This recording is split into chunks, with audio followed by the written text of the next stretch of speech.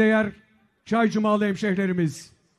İzin verirseniz şimdi konuşmalarını yapmak üzere yüreğinde barışa, eşitliğe, demokrasiye yer açan lider, hak, hukuk ve adalet mücadelesinin lideri, milletin sesi, Cumhuriyet Halk Partisi'nin genel Kemal Kılıçdaroğlu'nu buraya davet ediyorum.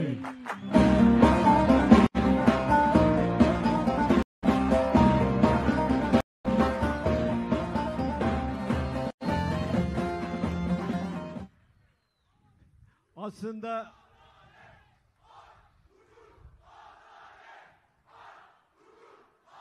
Teşekkür ederim. Teşekkür ederim. Çok sağ olun, var olun. Efendim buraya ilk geldiğimde bir akşam dört yol ağzında belediye başkanımızın seçilmesi için bir aracın üstünde Çay Cumalı kardeşlerime seslenmiştim. Ve sizler onu onurlandırdınız ve seçtiniz. Görev yaptı ve ben tekrar geldim buraya. Gerçekten de bir Avrupa kentine girer gibi tertemiz, pırıl pırıl bir kente geldim. Ve dedim, benim gençliğimde gittiğim Hollanda'nın bir kentiymiş gibi algıladım ve bunu ifade ettim. Bugün yine geliyorum, yine belediye başkanlarımız, başkanımız eskiye göre çok daha güzel hizmetleri çaycumallara sunmuş vaziyette. Hepinizin huzurunda Sayın Başkanı yürekten kutluyorum. Başkanım buradasın değil mi? Tamam. Başkanımız güzel şeyler yapıyor. Evlatlarımızı dinledik. İzmir Marşı'nı okudular. İzmir'in dağlarında çiçekler açtı ama unutmayın burada da çiçekler açtı. Çaycuma'da da çiçekler açtı. Evlatlarımız güzel marşlarını okudular.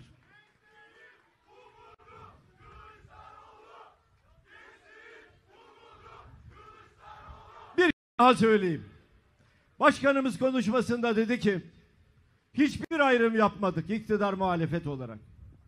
Olabildiğince bütün kararları oy birliğiyle çıkarmaya çalıştık. Yani Çaycuma'ya hizmet yapılacaksa hep beraber gelin hizmetimizi yapalım dedi. Ve Çaycuma'yı bugünkü noktaya birlikte getirdiler. Belediye başkanımızın dirayetiyle, çalışkanlığıyla, uzlaşmacı tavrıyla Çaycuma bugün bu bölgenin en güzel ilçelerinden, kentlerinden birisi oldu. Sizlere Çaycumalılara söz veriyorum. Çaycuma nasıl yönetiliyorsa Allah'ın izniyle Türkiye'yi de öyle yöneteceğiz. Barış içinde yöneteceğiz, barış. Huzur içinde yöneteceğiz, huruz, huzur. Beraber, birlikte, ayrım yapmaksızın yöneteceğiz. Kucaklayarak, halk kucaklayarak yöneteceğiz. Hiç kimseyi inancından, kimliğinden, yaşam tarzından ötürü ötekileştirmeyeceğiz. Bu topraklarda yaşayan herkesi kucaklayacağız. Biz milletin sesiyiz. Biz halkın sesiyiz. Biz Mustafa Kemal'in sesiyiz.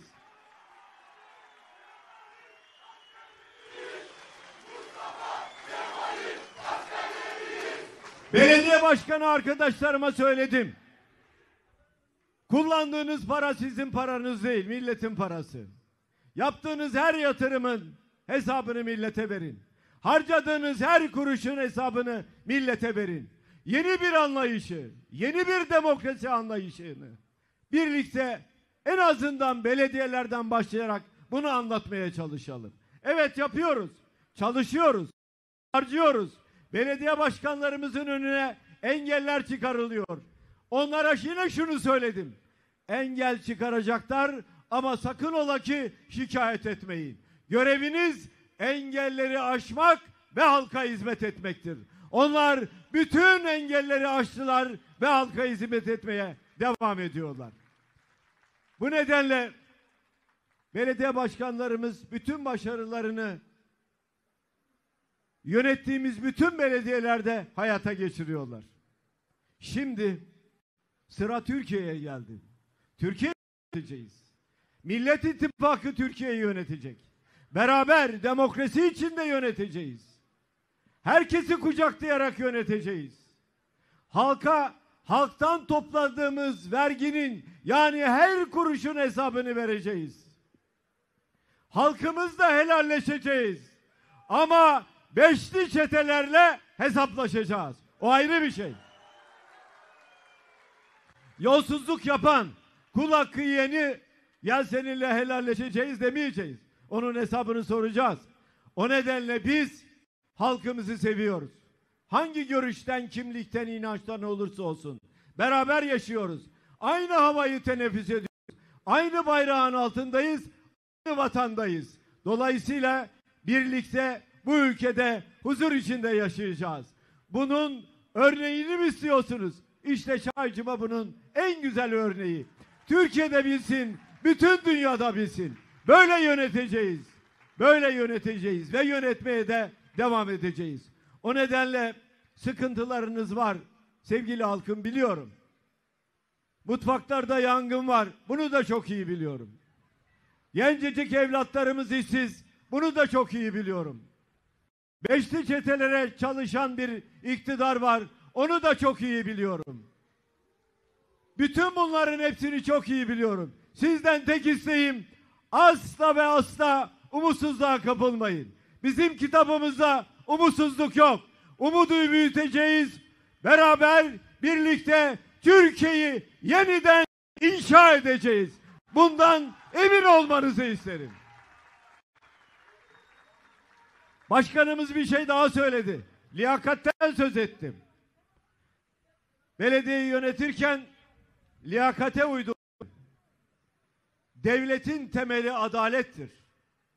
Devlet adaletle yönetilir. Devlet liyakatle yönetilir. İş ehline verilir.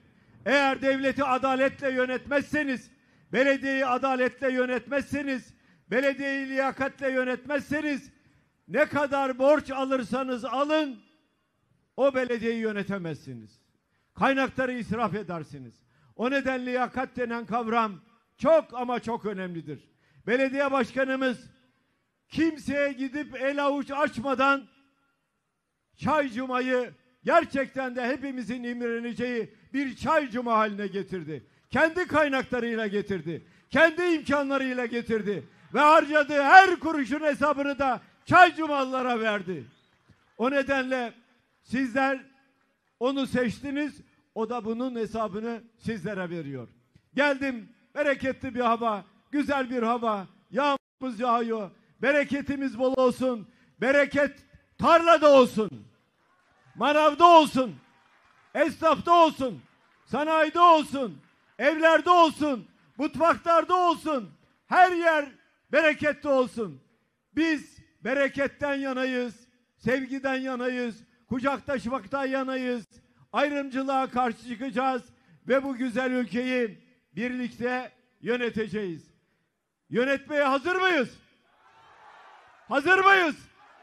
Hazır mıyız? Sandık gelecek.